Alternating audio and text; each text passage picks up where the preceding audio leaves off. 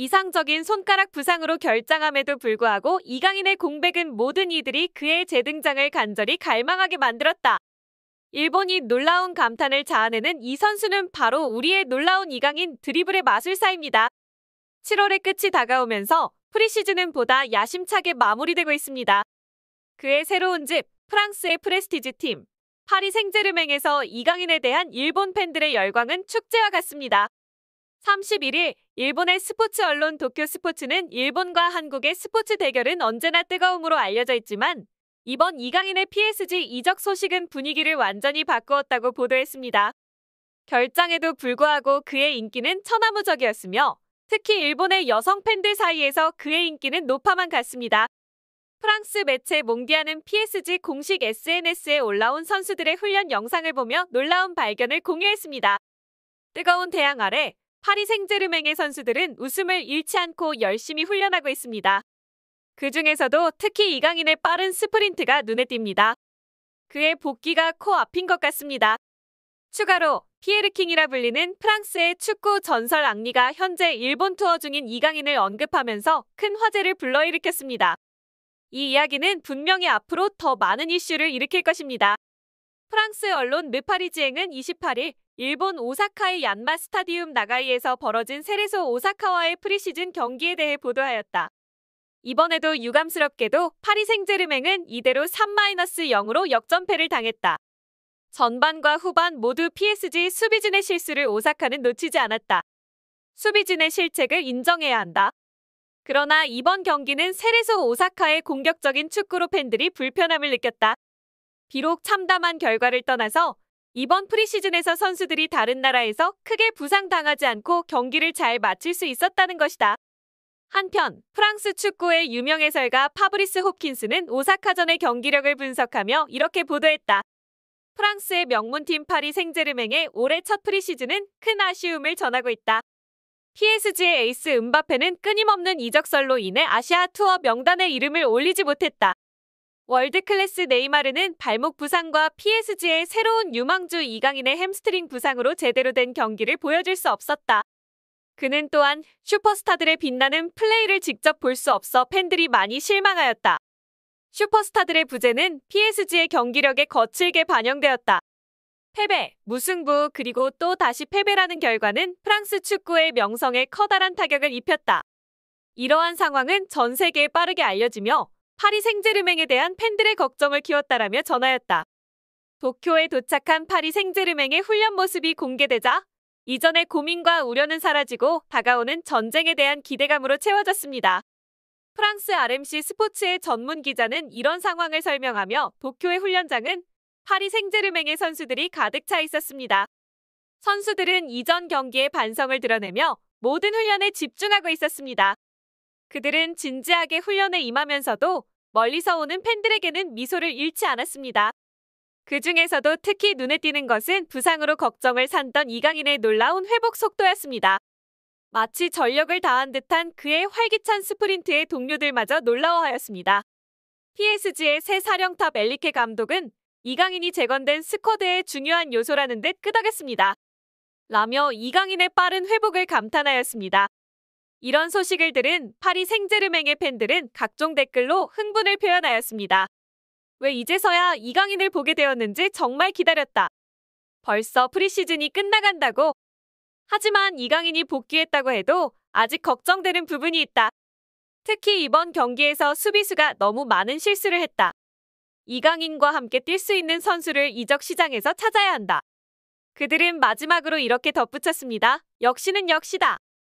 이강인, 네이마르의 케미를 제대로 볼 수 있을 날을 기대하며 기다리고 있다.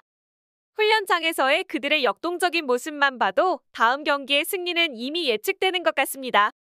이강인 골든보이의 별명에 걸맞게 한편의 놀라운 스토리를 만들어가는 중입니다.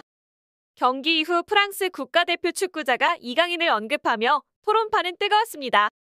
아스날의 역대 최다 득점자이자 프랑스 대표팀 역대 2위 득점자인 티에리 앙리입니다.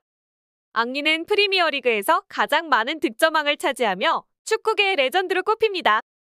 그의 화려한 경력과 놀라운 기록은 그를 프리미어리그의 왕이라는 별명을 가져다 주었습니다. 퇴직 후에는 영국 스카이 스포츠에서 게리 네빌과 제이미 캐러거와 함께 축구 방송 중계를 맡아 그의 통찰력과 해설력으로도 많은 인기를 끌었습니다. 그의 선구안력과 전략적 사고는 월드컵 기간 동안 BBC 스포츠의 분석가로 활동할 때 더욱 빛을 발했습니다. 이강인의 빠른 회복력을 보고 앙리는 이렇게 평가했습니다. 네이마르와 이강인이 결정한 프리시즌은 오히려 이들에게 재충전의 기회였을 것입니다. 이번 경기력이 실망스러웠던 파리 생제르맹에는 아직 정식 경기를 치르기 전이라는 점이 다행입니다. 이강인이 부상에서 빠르게 회복하고 있다는 것은 그에게 신의 한 수라고 볼 수 있습니다. 앙리는 마지막으로 이렇게 말하며 PSG 팬들을 진정시켰습니다. 프리시즌은 선수들을 테스트하고 준비하는 좋은 기회입니다. 이강인과 네이마르의 결정은 그들에게 쉬는 시간을 주어 본격적인 시즌을 대비하는데 이득이었을 것입니다.